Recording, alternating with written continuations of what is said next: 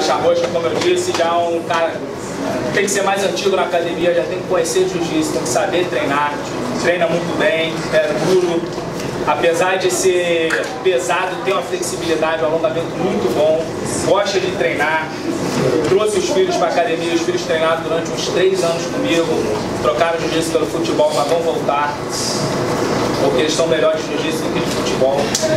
É, mas está muito habilidoso, muito duro, eu gosto de treinar com ele, chamo ele para treinar comigo, apesar de quando eu chamar ele falar pô, lá vem, lá vem aquele amasso, mas é porque eu sei que eu posso treinar duro com ele, porque ele aguenta e porque ele tá duro mesmo para treinar assim. Bora, Ricardo.